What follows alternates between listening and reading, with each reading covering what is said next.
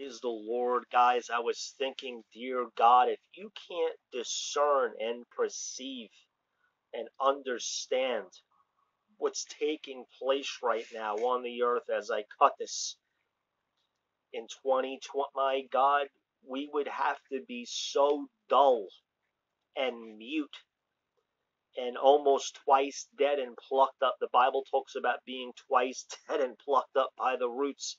Guys, there are signs manifesting right now. There are things to. If I would have told you some of these things even 10 years ago, 20 years ago, you would have said, Robb, that's a novel. That's not even real life. That's a book you wrote.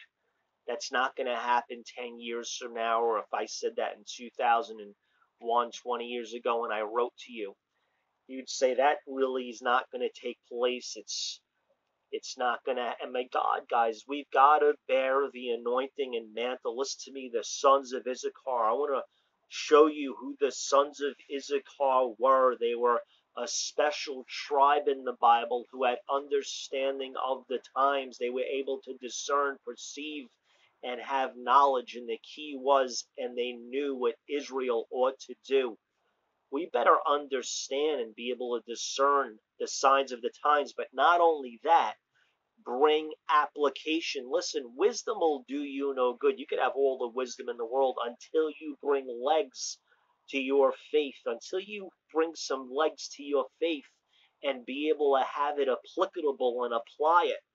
The wisdom. You could have the greatest idea in the world, the greatest breakthrough, invention, cutting edge. You could be, but until you bring it to the mat, until you market it, you understand what I'm saying? And that's where administration comes in. It's a whole other show. Now, listen, in 1 Chronicles 7 1, before I continue, by the way, excuse me, sorry, forgive me. If you're new, would be an honor. Please subscribe. Also, every Monday, every Monday, every Monday, someone say every Monday, I'm live 9 p.m. Eastern New York live stream YouTube. Also, every Thursday, we're live Zoom. I'll pin the ID and passcode in the comments. That's 8 p.m. Thursdays, and the live streams are powerful. You're catching an anointing, you're catching a spirit, you're catching a mantle. 1 Chronicles 7, verse 1 The sons of Issachar were Tola, Puah, Jashub, and Shimron, four and all. 1 Chronicles 12, verse 32.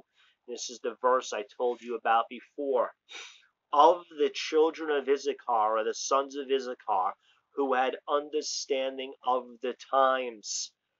Can you discern? Can you see? Can you hear what's taking? I could go down the line and give you the a great idea what's going on and what's coming basically from what's going on. I see where it's going.